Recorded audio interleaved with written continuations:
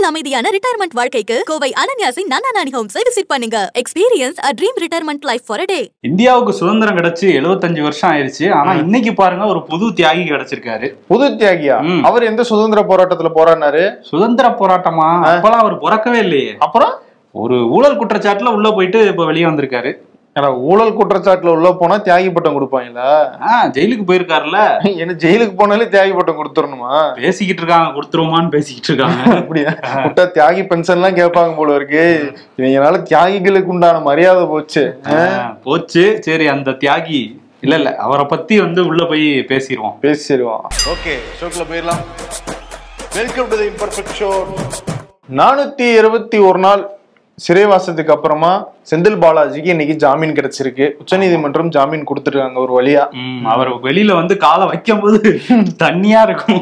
ஏன்னா மழை வேற பெஞ்சுக்கிட்டு இருக்குல்ல ஆமா ஊத்திட்டு இருக்கு. ரெண்டாயிரத்தி பதினாலுல இவர் அதிமுக ஆட்சியில போக்குவரத்து துறை அமைச்சரா இருந்தாரு. அப்போ வந்து போக்குவரத்து துறையில பணியிடங்கள் வேணும் அப்படின்னா அதுக்கு பணம் கொடுத்தீங்கன்னா நான் வாங்கி தரேன்ற மாதிரி சொல்லி இவர் ஊழல் செய்ததாக வந்து இவர் மேல ஒரு குற்றச்சாட்டு. அப்போ வந்து அவர் அமைச்சராக இருந்ததுனால அவர் மேலே வந்து அந்த குற்றச்சாட்டு பதியப்படலை. ரெண்டாயிரத்தி பதினஞ்சில் ஒருத்தர் வந்து நீதிமன்றத்துக்கு போகிறோம் அதுக்கப்புறமா வந்து பதியப்படுது வழக்கு. அதுலயும் செந்தில் பாலாஜியுடைய பேர் சேர்க்கப்படல. அதுக்கப்புறம் ரெண்டாயிரத்தி பதினாறுல திரும்பி மீன் நீதிமன்றம் தலையிட்டு அப்போ வந்து செந்தில் பாலாஜியுடைய பேரும் சேர்க்கப்படுது. இதுதான் சாக்குன்னு அப்பவே அமலாக்கத்துறை வந்து செந்தில் பாலாஜி மேல வந்த வழக்கையும் வந்து பதிவு செய்யறாங்க ஆமா. நீங்க சொன்ன மாதிரி ரெண்டாயிரத்தி பதினாறுல இப்ப இருக்கிற முதலமைச்சர் மு க ஸ்டாலின் அவர் வந்து செந்தில் பாலாஜிக்கு எதிராக பயங்கரமா பேசிட்டு இருந்தாரு. அவர் வந்து திமுக ஆட்சி வந்துச்சுன்னா செந்தில் பாலாஜி வந்து சிறையில தான் இருப்பார் அப்படின்னு. சொன்னாரு. கரூர்லயே போய் பேசினாரு. பேசினாரு? ஊழல்வாதி ஒரு பெரிய ஊழல்வாதி இருக்காரு அமைச்சர். அப்படின்லாம் சொல்லி பேசினார்ல. அது வந்து நடந்துச்சு. அவர் சொன்ன மாதிரியே திமுக ஆட்சிக்கு வந்தாங்க. ஆனா இதுல என்ன ஒரு ட்விஸ்ட்னா அவர் திமுகலயே அமைச்சரா இருந்தாரு. அப்போ உள்ள போயிட்டாரு. உள்ள போயிட்டாரு. இப்ப வந்து நிபந்தனை ஜாமீன் வழங்கியிருக்கு உச்சநீதிமன்றம். ஆஹ் இது 58 முறை அவருக்கான காவல் வந்து நீட்டிச்சுக்கிட்டே இருந்தாங்க. ஹாஃப் செஞ்சுரி அடிச்சிட்டாரு. செஞ்சுரி எப்ப அடிப்பாருலாம் நம்ம பேசிட்டு இருந்தப்ப அவருக்கு வந்து இப்ப ஜாமீன் கிடைச்சிருக்கு. இதுல வேடிக்கை என்னன்னா அப்ப ஊழல் அமைச்சர் அப்படின்னு பேசினாரு முதலமைச்சர் ஸ்டாலின் அதாவது அப்ப எதிர்க்கட்சி தலைவரா இருந்தாரு. இன்னைக்கு வந்து அவருடைய பெரிய தியாகி அப்படின்ற ரேஞ்சுக்கு வந்து புகழ்ந்து வரவேற்று இருக்காரு உன் தியாகம் பெரிது. அதை விட உன்னுடைய மன உறுதி பெரிது அப்படின்னு சொல்லி பயங்கரமா போட்டிருக்கு அதை விட வேற எதுவும் பெரிதா எதுவும் இருக்கா? இருந்தா- சொல்றேன் பின்னாடி வச்சுக்கிறேன் அப்படின்ற வச்சிருக்காரு போல. ஆமா அதனால வந்து இப்போதைக்கு இவ்வளவுதான் சொல்லியிருக்காரு. இது வந்து எமர்ஜென்சி காலத்துல கூட இப்படிலாம் இருந்தது இல்ல. ஆனா வந்து நீங்க பயங்கர ஒரு தியாகத்தை பண்ணிட்டீங்கிற ரேஞ்சுக்கு அவரோட பதிவு இருந்தது. சரி இன்னொரு பக்கம் நிபந்தனை ஜாமீன் அப்படின்னு சொன்னோம்ல என்னென்ன நிபந்தனை போட்டிருக்காங்க அப்படின்னா இந்த மாதிரி வந்து இருபத்தைந்து லட்சம் ரூபாய் பிணை அதோட ரெண்டு பேரோட அந்த உத்தரவாதம் இந்த இதோட தான் அவரை விட்டுருக்காங்க. அதே மாதிரி திங்கள் வெள்ளி இந்த ரெண்டு நாளும் வந்து அவர் வந்து அமலாக்கத்துறை அலுவலகத்துல கையெழுத்து போடணும். வெளிநாட்டுக்கெல்லாம் போகக்கூடாது. அதே நேரத்துல வந்து அமைச்சரா இருக்கிறதுக்கு எந்த தடையும் விதிக்கல. ஸோ வந்து இப்பவே வந்து அவர் அமைச்சரவைக்குள்ள கொண்டு வரதுக்கான வேலையை அறிவாலயத்தில் ஆரம்பிச்சிட்டதா ஒரு தகவல் இருக்கு. அதுக்காக தான் வந்து இந்த திருப்போராட்டம் தான் போன மாசமே வந்து மாத்த வேண்டிய அமைச்சரவையை தள்ளி வச்சதாகவும் இப்ப வந்துட்டனால அமைச்சரவை மாற்றம் உடனடியா நடக்கும் அப்படின்றலாம் வந்து பேசிட்டு இருக்காங்க. அதுதான் இப்ப பழுத்துரும்னு நினைக்கிறேன். துணை முதல்வர். உடனே பழுக்க வாய்ப்பு இருக்கு. மாற்றம் வந்து ஏமாற்றமா இருக்காதுன்னு சொல்லியிருக்காரு. அப்ப யாருக்கு ஏமாற்றம்ட்டு அதே நேரம் இந்த வழக்குல எப்படி இவருக்கு ஜாமீன் கிடைச்சது அப்படிங்கிற பாயிண்ட்டும் ரொம்ப முக்கியம். ஏன்னா இவருக்கு முன்னாடி அமலாக்கத்துறையால கைது செய்யப்பட்ட அரவிந்த் கெஜ்ரிவால் மணிஷ் சிசோடியா ஹேமந்த் சோரன். தெலங்கானாவை சேர்ந்த கவிதா இவங்க எல்லாருமே வந்து ரிலீஸ் செய்யப்பட்டாங்க. அது என்ன அடிப்படைனா இடி வழக்கு அதாவது குறிப்பா அந்த பிஎம்எல்ஏ வழக்கை பொறுத்த வரைக்கும் பெயில் இஸ் த கண்டிஷன் நீங்க வந்து ஜெயில் வந்து எப்பயுமே நிரந்தரம் கிடையாது. பெயிலுக்கு தான் நாங்க முக்கியத்துவம் தருவோம். ஏன்னா நீங்க ரொம்ப நாளா வந்து இந்த வழக்கு விசாரணையை தள்ளி போட்டுக்கிட்டே இருக்கீங்க. அதை சாக்கா வச்சு மட்டுமே அவங்கள வந்து ஜெயிலே வச்சிருக்க முடியாது. ஸோ அதனால் நாங்கள் ரிலீஸ் பண்ணுறோம் அப்படின்னு சொல்லி அவங்க நாலு பேர் ரிலீஸ் பண்ணாங்க. அந்த அடிப்படையில் இவருக்கும் ப்ளஸ் இவருடைய உடல்நிலை இது எல்லாத்தையுமே வந்து காரணம் கருதி வந்து உச்சநீதிமன்றம் அவருக்கு வந்து ஜாமீன் கொடுத்திருக்காங்க. கொடுத்ததும் கொடுத்தாங்க. நம்ம போன வருஷம் தீபாவளிக்கு முன்னாடியே சொல்லிட்டு இருந்தோம். வெடிலாம் வாங்கி வச்சிருந்தாங்க. தீபாவளியும் முடிஞ்சிருச்சு எல்லாம் நமத்து போயிருக்குமே அப்படின்னு. இப்போ வந்து தீபாவளி வர்றதுக்கு முன்னாடி கிடைச்சதுனால கரூர்ல பட்டாசெல்லாம் வெடிச்சு கொங்கு பகுதியிலே நிறைய இடங்கள்ல பட்டாசு வெடிச்சு ஸ்வீட் எல்லாம் கொடுத்து செந்தில் பாலாஜியோட தொண்டர்கள்லாம் வந்து கொண்டாடிட்டு இருக்காங்க. ஓகே. கரெக்டா அண்ணாமலை லண்டன் போனதுமா ஜாமீன் கிடைச்சிருக்கு. அவர் எதுவும் ஃபீல் பண்ணுவாரா? லண்டன்ல இருந்து பாத்துட்டு இருப்பாரு. இப்ப வேற லண்டன் லண்டன்ல நைட்டா இருக்கலாம். இருக்கலாம், இருந்தாலும் அவர். கண் முழிச்சு படிச்சுட்டு தான் இருப்பாரு. படிச்சிட்டு இருப்பாரா? ஓ அந்த அளவுக்கு படிப்பாரா? ஆமா. சரி சரி சரி. அவர் படிக்கட்டும். இவர் வந்து இப்ப என்னன்னா இன்று மாலை அவர் வந்து வெளியே வரலாம். நம்ம ஷோ பப்ளிஷ் ஆகுற டைம்ல கூட அவர் வெளியே வந்திருக்கலாம். இல்ல அந்த ஆர்டர் காப்பி கிடைச்ச உடனே அஹ், வெளியே வந்து புழல் சிறையில இருந்து வெளியே வருவாரு. இல்ல நாளைக்குள்ள வந்துடலாங்கிறதான் சொல்றாங்க. அதே மாதிரி அமைச்சரவைக்குள்ள அவரை கொண்டு வரதுக்கான வேலையும் நடந்துட்டு இருக்கு ஆமா இந்த இடத்துல இவர் வருவாரா? அமைச்சரவைக்குள்ள கொண்டு வரலாம் நீங்க நினைக்கலாம். ஆளுநர் எப்படி ஏத்துக்குவாரா? அவர்? அவரு வேற என்ன? அவர் திரும்ப நீதிமன்றத்துல போய் நம்ம கொண்டு வாங்க வேணாம். போட்டுருவோம்னு இதுக்கெல்லாம். ஓகே சொல்லிடுவாரு இன்னொரு விஷயம் இந்த தியாகி மேட்டர் இருக்குல்ல ஆமா. வந்து எதிர்க்கட்சிகள் எடுத்துக்கிட்டாங்க. தமிழிசை சவுந்தரராஜன் கேக்குறாங்க. தியாகி அப்ப துரோகின்னீங்க இப்ப தியாகின்றீங்களே அப்படிங்கறத கேள்வியா வைக்கிறாங்க. அதே மாதிரி சீமான் அவர் வந்து என்ன வந்து அவர் தியாகங்கள் பட்டியலை இட்டிருக்காரு என்னென்ன தியாகம் பண்ணிருக்காரு அப்படின்ட்டு.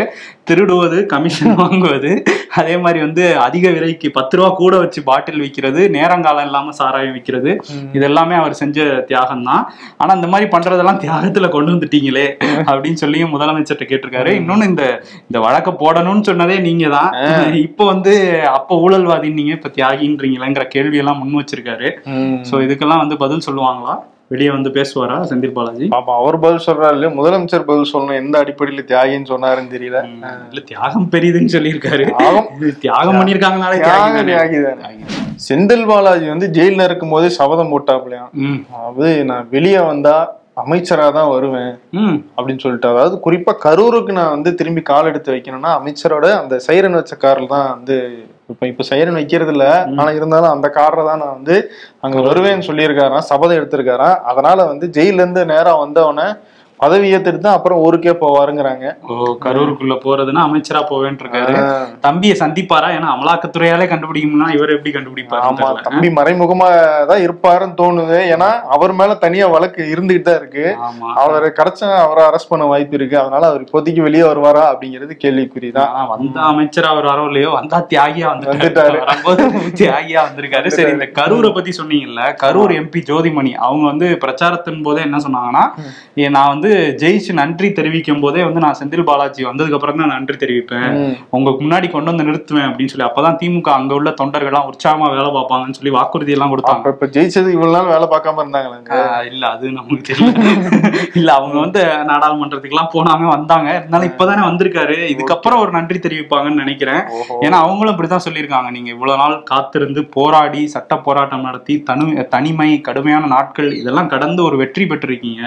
உங்களுக்கு என்னோட அன்பும் வாழ்த்துக்களும் சொல்லியிருக்காங்க. ஓகே அவங்களும் வந்து வாழ்த்திருக்காங்க அவங்க தியாகின்னு நான் சொல்லல. தியாகின்னு சொல்லல. விஜயின் தமிழக வெற்றி கழகம் அந்த கட்சியினுடைய முதல் மாநில மாநாடு அக்டோபர் இருபத்தி ஏழாம் தேதி நடக்க போகுது. அதுக்கு வந்து ஏகப்பட்ட கண்டிஷன்ஸ் வந்து காவல்துறை போட்டிருக்காங்க. முப்பத்தி மூணு கண்டிஷன்ஸா அதுல பதினேழு நீங்க மஸ்ட் ஃபாலோ பண்ணி ஆகணும் அப்படின்னு பதினாறு சாய்ஸ்ல விட்டுக்கலாம்? நீங்க ஃபர்ஸ்ட் இந்த பதினேழு கம்ப்ளீட் பண்ணுங்க. அதுக்கப்புறம் நாங்க பதினாறுக்கு வரோம்னு எல்லாம் சொல்லியிருப்பாங்களோ இந்த பதிமே பதினேழு நீங்க நிறைவேற்றிய திறன்னு வந்து சொல்லியிருக்காங்களா? அதாவது பாதுகாப்பு ஏற்பாடுகள் வந்து வந்து போகிறவங்களுக்கு இருக்கிற வசதிகள் போக்குவரத்து பெண்களுக்கான இது சிறப்பு ஏற்பாடுகள் சாப்பாடு நல்லா தரமா போடணும். இந்த மாதிரி நிறைய டி- இதெல்லாம் கொடுத்துருக்காங்களா? அதை கம்பல்சரி பண்ணணும்ட்டு. அது நீங்க பண்ணிட்டீங்கன்னா நீங்க எடுத்துங்க அனுமதி அப்படின்ற மாதிரி சொல்லியிருக்காங்க. அதாவது அனுமதின்னு சொல்றாங்க. ஆனா இதை நாங்க பார்த்துட்டு தான் கொடுப்போம் அப்படின்ற விஷயத்தையும் வந்து சேர்த்து சொல்லியிருக்காங்க. இப்போதைக்கு நாங்க அனுமதி கொடுத்துறோம். நீங்க அடுத்தடுத்து பண்றதை பார்த்துட்டு. நாங்க கேட்ட அந்த முக்கியமான பேப்பர்லாம் மிஸ் ஆகாம பாத்துக்குங்க அதாவது அந்த நிபந்தனையில சொல்றேன். அதெல்லாம் கரெக்டா பாத்துக்கிட்டீங்கன்னா நடத்தலாங்கிற மாதிரி சொல்லியிருக்காங்க. ஸோ இன்னொரு பக்கம் வந்து இந்த சென்னை மாநகராட்சி அங்க வந்து மாநகராட்சியில தூய்மை பணியாளர்கள் இருக்காங்க. அதுல இருபத்தி ஒன்பது பேர். அதே மாதிரி இங்க சென்னை மாநகராட்சிக்கு உட்பட்ட ஆரம்ப சுகாதார நிலையத்துல பதிமூணு சுகாதார நிலையத்துல இருந்து நர்ஸுகள்லாம் வந்து என்ன பண்ணியிருக்காங்கன்னா இந்த இருபத்தொன்பது பேரையும் அந்த ஆரம்ப சுகாதார நிலையத்தை சேர்ந்த நர்ஸுகளையும் இவங்க சொந்த வேலைக்காக ஐஏஎஸ் அதிகாரிகள் பயன்படுத்தியிருக்காங்க அப்படிங்கிற குற்றச்சாட்டு கிளம்பியிருக்கு. அவங்க வீட்டில் அதுவும் நைட் ஷிஃப்ட் போட்டு நைட் எட்டு மணிலேருந்து காலையில் எட்டு மணி வ- வரையும்லாம் சில பேரை வந்து வேலை வாங்கியிருக்காங்க. அவங்க வந்து நிறைய தூய்மை பணியாளர்கள் மறுத்திருக்காங்க. இது எங்களோட வேலையே இல்லையே. நான் ஏன் உங்கள் வீட்டில் வந்து வேலை பார்க்கணும்? நான் கட்டாயப்படுத்தி வேலை வாங்கினதா ஒரு புகார் கிளம்பியிருக்கு. ரெண்டு ஐஏஎஸ் அதிகாரிகள் வீட்டில் இந்த மாதிரி நடந்திருக்குதா? இப்போ வந்து வெளியே வந்திருக்கு. ஸோ மாநகராட்சியும் இதுக்கு வந்து மாநகராட்சி மேயரும் தான் பதில் சொல்லணும். இப்போ வரையும் அவங்க தரப்புல இருந்து அமைதியாக தான் இருக்காங்க. ஏற்கனவே நேத்து வந்து அந்த லிப்ஸ்டிக் சர்ச்சையாச்சு. அந்த ஃபேதார் அவங்கள வந்து இடமாற்றம் செஞ்சாங்க அப்படின்னு சொல்லி ஒரு குற்றச்சாட்டு வந்துச்சு. ஆனா இன்னைக்கு அது மறுத்தாங்க. ஆனா இன்னைக்கு அவங்க நேர் எதிரா வந்து இன்னொரு செயல்பாடு நடந்திருக்கு. அது மேல எந்த நடவடிக்கையும் எடுக்கல மாநகராட்சி. பாடகர் எஸ்பிபி அவர் வந்து நம்மளை விட்டு மறைஞ்சு நாலு வருஷம் ஆச்சு. இருந்தாலும் அவர் வந்து ஏதோ ஒரு வகையில நம்ம எல்லாருமே டெய்லி அவரை வந்து அவர் குரலை வந்து கேட்டுட்டு தான் இருப்போம். கண்டிப்பா. So, ம். ஆமா. அவருக்கு வந்து தமிழக அரசு ஒரு விஷயம் பண்ணியிருக்காங்க. அவருடைய மகன் எஸ்பிபி சரண் அவர் வந்து ஒரு கோரிக்கை வச்சிருந்தாரு தமிழக அரசு கிட்ட என்னன்னா எஸ்பிபியினுடைய வீடு இருந்த இந்த காம்தார் வீதி அதாவது நுங்கம்பாக்கம் சொல்லுவாங்க காம்தார் வீதின்னு சொல்லுவாங்க. அந்த தெருவை வந்து எஸ்பிபியினுடைய பேருக்கு மாத்தணும்னு ஒரு கோரிக்கை வச்சிருந்தாரு ஸோ. அந்த அடிப்படையில அந்த கோரிக்கையை முப்பத்தாறு மணி நேரத்துல வந்து முதலமைச்சர் ஸ்டாலின் நிறைவேற்றிட்டாரு அப்படின்னு சொல்லி எஸ்பிபி சரண் வந்து பாராட்டு வந்து நன்றின்னு சொல்லியிருக்காரு. ஓகே. சாலைக்கு வந்து பேர் வச்சிருக்காங்க. இது ஒரு நல்ல விஷயம் தான் அவர் வந்து நீங்காத ஒரு இடம் பிடிச்சவர் தான் ஆனா அந்த சாலையில இன்னொரு பிரச்சனை இருக்கு. சாலையில எங்க கால் வைக்கிற இடத்தெல்லாம் வந்து தண்ணியா நிக்குது இப்ப. நேத்து நைட்டு வந்து பயங்கர மழை. என்ன அடி ம், பயங்கர மழை பெஞ்சிட்டு இருந்துச்சு இவங்க வந்து டிசம்பருக்கு ப்ரிப்பேர் பண்ணிட்டு இருக்கும்போது அவுட் ஆஃப் சிலபஸ்ல இருந்து இங்க எப்பவே வந்துருச்சா? அதனால வந்து மழைநீர் வடிகால் என்ன ஆச்சு அப்படிங்கிற கேள்வி திரும்ப மெல்ல மெல்ல வருது. இந்த சென்னையில மட்டும் இல்லாம இந்த அடுத்த மூன்று நாட்கள் வந்து தமிழ்நாடு முழுக்க பரவலா மழை இருக்கும் அப்படின்னு சொல்லியிருக்காங்க. கோவை திருநெல்வேலி கன்னியாகுமரின்னு பல மாவட்டங்கள்லையும் மழை பெய்யும் அப்படிங்கிறத சொல்லியிருக்காங்க. இருபத்தெட்டாம் தேதி அங்கெல்லாம் வந்து கனமழை இருக்குங்கிற எச்சரிக்கையும் எடுத்திருக்காங்க. ஸோ நம்ம எல்லாருமே கொஞ்சம் கேர்ஃபுல்லா இருந்துக்கலாம். இந்த திருப்பதி லட்டு விவகாரத்துல அடுத்ததா ஒரு புது யாகம் ஒண்ணு நடக்க போகுது. இந்த முறை வந்து இதை பண்ண போறது வந்து ஜெகன்மோகன் ரெட்டி முன்னாள் முதலமைச்சர். அவரும் இறங்கிட்டார். அவர் இறங்கிட்டார். அவர் என்னன்னா இப்படி வந்து விலங்கு கொழுப்பு வந்து அதுல கலக்கப்பட்டுச்சு அப்படின்னு சொல்லி சந்திரபாபு நாயுடு ஒரு பொய்யை வந்து பரப்பி விட்டுட்டாரு. அந்த பொய்யை சொல்லி அந்த பாவத்தை அவர் செஞ்சதுனால அந்த பாவத்தை துடைக்கிறதுக்காக நாங்க வந்து ஆந்திரால இருக்கிற கோயில் ஃபுல்லா வந்து ஒரு யாகத்தை பண்ண போறோம் சிறப்பு பூஜையை பண்ண போறோம். அதுல வந்து இந்து மக்கள் அனைவரும் பங்கேற்க வேண்டும் அப்படின்னு வந்து அவர் ஒரு கோரிக்கையை வச்சிருக்காரு. ஓகே இல்ல சந்திரபாபு நாயுடு போய் சொன்னது அவர் சேர்த்துக்கிட்ட பாவம். அவருக்காக இவரையே யாகம்லாம் ஆனா வளர்க்குறது எங்கப்பா ஸ்டார்டிங்ல இருந்து இது அரசியலா தானே போய்கிட்டு இருக்கு சரி நம்மளும் அரசியல் பண்ணுவோம்னு இவரும் இறங்கி இப்ப வந்து இந்த விஷயத்தை இப்படி பண்ணிட்டு மத உணர்வுகளுக்கு என்ன மதிப்பளிக்கிறாங்க அப்படிங்கிறது தெரியல. ஆனா வந்து இதை வச்சு அரசியல் ஆதாயம் மட்டும் தேடிட்டு தேடிட்டு இருக்காங்க. சரி இந்த திருப்பதி லட்டு விவகாரத்துல திண்டுக்கல்ல இருந்து ஏஆர் டெய்ரி ஃபுட்ஸ் அந்த நிறுவனம் தான் கலப்படம் பண்ண நெய் அனுப்பிச்சிட்டாங்கன்னு திருமலா திருப்பதி தேவஸ்தானத்துல இருந்து திருப்பதி காவல் நிலையத்துல புகார் கொடுத்திருந்தாங்க. இப்ப அதுல வழக்கு பதிவு பண்ணியிருக்காங்க. ஓகே. எஃப்எஸ்எஸ்ஐ வந்து அங்கே ஆய்வுலாம் பண்ணாலும் அந்த மாதிரி சாம்பிள்ஸ் கிடைக்கலங்கிற மாதிரி ஒரு தகவல் வருது. ஸோ இந்த வழக்கெல்லாம் போறதை பொறுத்து தான் நம்ம பார்க்கணும். அது எப்படி கிடைக்காத? எல்லாம் சாப்பிட்டாச்சுல. சாப்பிட்டாச்சு. இப்போ நெய்யில் அந்த கலப்படம் இருக்கான்னு செக் பண்ணியிருக்காங்களாம். அதாவது அனுப்பிச்சதுல வச்சிருக்காங்கங்கிற மாதிரி சொல்றாங்க. சொல்றாங்க. இவங்க இன்னும் அரசியல் பண்ணிட்டு இருக்காங்க மாறி மாறி. ஆனா லட்டு சேல்ஸ் வந்து எகிரிட்டு இருக்குன்னு தான் சொல்றாங்க. மக்கள்? அவங்க வாட்டுக்கு வந்து வழக்கம் போல சாப்பிட்டுட்டு தான் இருக்காங்க லட்டு. மத்திய மருந்து கட்டுப்பாட்டு அமைப்பு வந்து ஒரு அதிர்ச்சி ரிப்போர்ட் ஒன்று வெளியிட்டிருக்காங்க. அதில் என்ன சொல்லியிருக்காங்கன்னா நம்ம அந்த உயர் ரத்த அழுத்தம் காய்ச்சல்னு நிறைய பிரச்சனைகளுக்கு மாத்திரை எடுத்துக்கோம்ல. அதுல ஒரு ஐம்பத்தி மூன்று மாத்திரைகள் தரமற்றவை அப்படின்னு சொல்லியிருக்காங்க. அதுல இந்த பாராசிட்டமால் ஐபி ஃபைவ் ஹண்ட்ரட் அதே மாதிரி vitamin C D three anti acid பேன்டின்னு இந்த மாதிரி நிறைய மாத்திரைகள் பேரை வந்து குறிப்பிட்டிருக்காங்க. அப்ப அந்த பேராசிட்டமால் பேண்டி எல்லாம் வந்து மிட்டாய் மேல சாப்பிட்டுக்கிட்டு இருக்காங்க. சில பேர் வந்து நிறைய அந்த மாதிரி வாங்கி சாப்பிட்றது உண்டு அந்த மாத்திரைகளை. இதெல்லாம் வந்து இப்போ குற்றச்சாட்டியிருக்காங்க. சில நிறுவனங்கள் பேரும் அதுல சொல்லியிருக்காங்க. அந்த நிறுவனங்கள் என்னன்னா Alkem laboratories Hetero drugs Karnataka antibiotics and pharmaceuticals Hindustan antibiotics limited pure and cure health care இந்த நிறுவனங்களுடைய பேராசிட்டமால் பேண்டி இந்த மாதிரி மா- மாத்திரைகள்லாம் வந்து பிரச்சனைக்குள்ளானதா இருக்கு. தரமற்றதா இருக்குன்னு சொல்லியிருக்காங்க. அதாவது மொத்தமா பேராசிட்டமாலே தரமற்றதுன்னு சொல்லல. இந்தந்த நிறுவனங்கள் தயாரிக்கிற அந்தந்த ஃபார்முலாக்கள் வந்து தரம் இல்லாம இருக்கு. ஸ்டாண்டர்ட்ஸ்ல இல்ல அப்படின்னு வந்து ஒரு எச்சரிக்கை கொடுத்திருக்காங்க. எச்சரிக்கை கொடுத்துருக்காங்க. இதுல சில நிறுவனங்கள் வந்து இப்போ மறுப்பு தெரிவிச்சிருக்காங்க. அவங்க என்ன சொல்றாங்கன்னா. இதெல்லாம் வந்து போலியா கிடைக்கிறது. இது சந்தையில ஈஸியா போலியா சில பேர் எங்க நிறுவனங்கள் பேர்ல மாத்திரையை வித்துக்கிட்டு இருக்காங்க. நாங்க த தயாரிக்கலாம் தரமா தான் இருக்கு. அப்படிங்கிறத சொல்லியிருக்காங்க. ஸோ இதெல்லாம் அடுத்தடுத்து கேட்கும்போது நமக்கு வந்து இங்க ஒரு ஆய்வு பண்ணி என்ன நடக்குது அப்படிங்கிறத கொண்டு வரணும். ஏன்னா மெடிசின்ஸுங்கிறது டெய்லி நிறைய பேர் எடுத்துட்டு இருக்க ஒரு முக்கியமான விஷயம். ரெண்டு நாள் முன்னாடி கூட ஒரு செய்தி பார்த்தோம். நம்ம வந்து மகாராஷ்டிரா உத்தரப்பிரதேஷ் உத்தரகாண்ட் இங்கெல்லாம் வந்து போலியான மருந்துகள் வந்து அரசு மருத்துவமனையிலேயே கொடுத்துக்கிட்டு இருந்திருக்காங்க. டால்கம் பவுடர்லாம் ஆமா. அந்த மாதிரி நேரத்துல இப்படிப்பட்ட செய்தி வருது அதிர்ச்சியா தான் இருக்கு. அப்ப நம்ம டெய்லி என்னத்த சாப்பிட்டுக்கிட்டு இருக்கோம் அப்படிங்கிற ஒரு டவுட் வருதுல்ல. ஆமா உடனடியா மத்திய அரசு இதை கவனத்துல எடுத்துக்கணும். உத்தரப்பிரதேசத்துல பாஜக அரசு இருக்கு. ம். அந்த பாஜக அரசை வந்து ஹிமாச்சல பிரதேசத்துல இருக்கிற காங்கிரஸ் அரசு ஃபாலோ பண்ணுது. எந்த விஷயத்துல அப்படின்னு பார்த்தோம்னா இந்த உணவு கடைகள் வச்சிருக்காங்கல்ல அவங்க எல்லாம் வந்து பேரை வந்து வெளிப்படையா எழுதி ஒட்டணும் அப்படின்னு ஒரு அறிக்கை வந்து ஒரு உத்தரவை வந்து உத்தரப்பிரதேச அரசு போட்டிருந்தாங்க ஒரு அந்த திருவிழா அப்போ. அது எதுக்குன்னா இஸ்லாமியர்கள் யாரும் இருக்காங்களா அப்படிங்கிறத ஒரு அடையாளப்படுத்துறதுக்கான முயற்சி அப்படின்னு சொல்லி அப்ப எதிர்க்கட்சிகள்லாம் கடுமையான கண்டனம் எல்லாம் சொல்லியிருந்தாங்க நீதிமன்றம். கொந்தளிச்சிட்டு இருந்தாங்க ஆமா. இப்ப இமாச்சல பிரதேசத்தினுடைய காங்கிரஸ் அரசு அதை வந்து இமாச்சலத்துல இம்ப்ளிமெண்ட் பண்ணணும் அப்படின்னு சொல்லிட்டு உத்தரவு கொடுத்திருக்காங்க. உரிமையாளர் பேரை. ஆமா உரிமையாளர் பெயர் அட்ரஸ் வந்து எல்லா கடையிலயும் வந்து டிஸ்ப்ளே பண்ணணும். ஆதார் கார்டை அங்க பிரிண்ட் பண்ணி ஒட்டிடலாமே. எல்லாமே பண்ணிடலாம். சரி இப்ப இதுக்கு வந்து அங்க பாஜக கொந்தளிக்க மாட்டாங்க. ஓகே நீங்களே பண்ணிட்டீங்களே நாங்க எல்லா இடத்துலயும் பண்ணிக்குவாங்களா தேங்க்யூ அப்படின்னு சொல்லி கைதான் கொடுப்பாங்க. ஆமா இதெல்லாம் வந்து அங்க ஒரு ஸ்டாண்டு இங்க ஒரு ஸ்டாண்டுங்கிறது காங்கிரஸ்க்கு வந்து இருக்குது. சரி இன்னொரு விஷயம் என்னன்னா அந்த மராத்தா இடஒதுக்கீடு அதுக்காக வந்து மனோஜ் பாட்டீல் அப்படிங்கிற மகாராஷ்டிராவை சேர்ந்தவர் தொடர்ச்சியா உண்ணாவிரதம் இருந்துட்டு இருந்தாரு. இப்ப அப்பப்போ விட்டு விட்டு இருந்துட்டு இருந்தாரு. இப்ப பதினேழாம் தேதி ஆரம்பிச்சாரு. தேர்தல் வேற வரப்போகுது அப்படிங்கிறதுனால நிறைய கட்சிகள் அவரை போய் பார்க்கறது இந்த விஷயம்லாம் நடந்துச்சு. சரத்பவார் கட்சியில இருந்து சில பேர் போய் பார்த்தாங்க. நிறைய பேர் அவரோட ஆதரவாளர்கள் கேட்டுக்கிட்டாங்களாம். நீங்க வந்து உடல்நிலை மோசமாயிட்டே போறது தேர்தல் வருது அதனால நீங்க வந்து கொஞ்சம் இதை கைவிடணும். நமக்கு நீதி கிடைக்கும் அப்படின்னு சொன்னோன்னே இப்போ வந்து கைவிட்டிருக்காரு. அது மட்டும் இல்லாம பாஜக அரசுக்கு ஒரு எச்சரிக்கையும் விடுத்திருக்காரு. இதை நீங்க சாதாரணமா எடுத்துக்காதீங்க. ஒரு பெரும் பின்விளைவு உங்களுக்கு இருக்கும் அப்படின்னு சொல்லியிருக்காரு. தேர்தல் நடத்தை விதிகள் வரதுக்குள்ள இடஒதுக்கீடை வந்து அமல்படுத்துங்க அப்படிங்கிறதையும் கோரிக்கையா வச்சிருக்காரு. ஸோ மகாராஷ்டிரா அரசியல்ல இது ஒரு பிரச்சனையா தான் மாறி இருக்கு ஓகே. இன்னொரு பிரச்சனை எப்பவுமே மும்பை மும்பை மாநகராட்சிக்கு இங்க சென்னை மாநகராட்சி மாதிரி அதுக்கும் மேலங்கிற மாதிரி அவங்க பண்ணுவாங்க. அந்த மழை வந்தாலே சாலை முழுக்க ஆறுகள் மாதிரி ஓடிட்டு இருக்கும். ஸோ அங்கே வந்து ம மழைனால ஃப்ளைட்ஸு ரயில் எல்லாமே கேன்சல் ஆயிருக்கு. நிறைய பிரச்சனைகள் உருவாயிருக்கு. பிரதமர் மோடி வரதா இருந்தார்.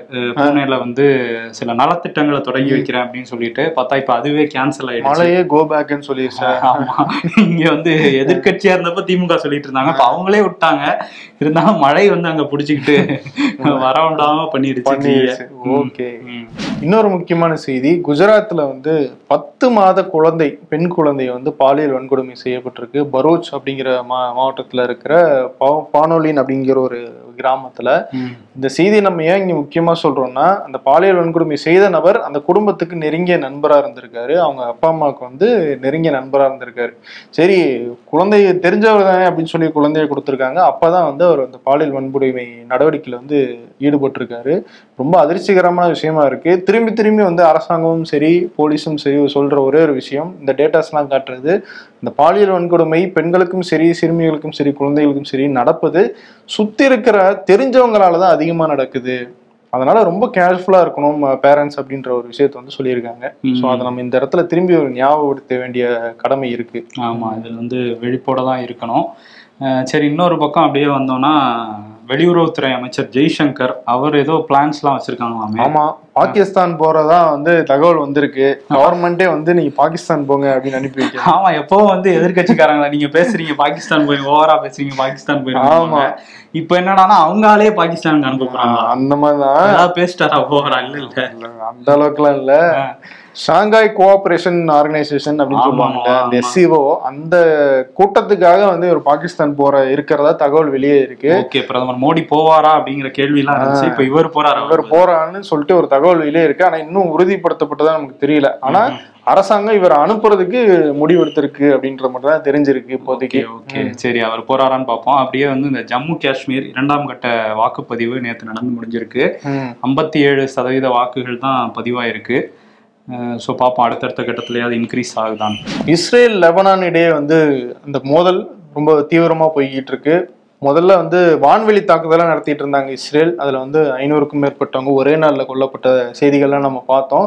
இப்போ தரைவழி தாக்குதலையும் வந்து நடத்துறதுக்கு இஸ்ரேல் தயாராகிட்டு இருக்குன்னு தகவல் வெளியாகிட்டு இருக்கு ம், ஆமா இது வந்து ஒரு கொடூரமான விஷயம் தான் லெபனான்ல நடந்துட்டு இருக்கு இப்ப இந்தியா வந்து இந்திய தூதரகம் உடனடியா இந்தியர்கள் எல்லாரும் வெளியேறிடுங்க லெபனானை விட்டுன்னு சொல்லியிருக்காங்க.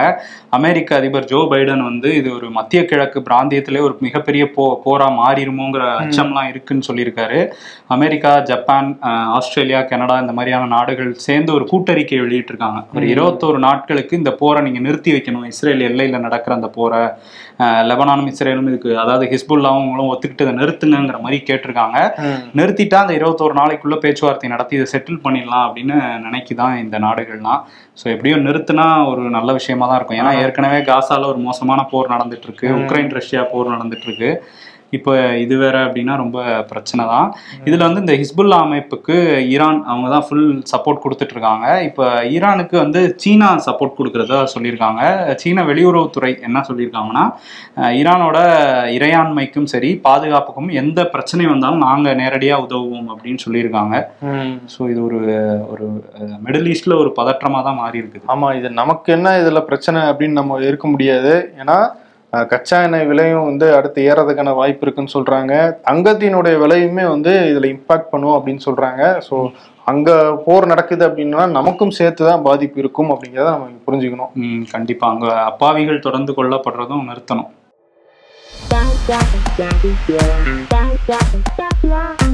நான் அரசியலுக்கு போறேன். அப்படின்னு விஜய் சொல்றாராம். நான் ரேசிங்க்கு போறேன்னு அஜித் சொல்றாராம். ஃபாஸ்ட் அண்ட் ஃபியூரியஸ் வச்சு போட்டிருக்காங்க. நைட்டு பத்து மணிக்குள்ள எப்படிடா தூங்குறீங்க? சொல்லுங்கடா அப்படின்னு சொல்லி கையில போனை வச்சுட்டே கேக்குறாங்க. அந்த போனை வச்சுட்டா தூங்கிடலாம். ஆமா.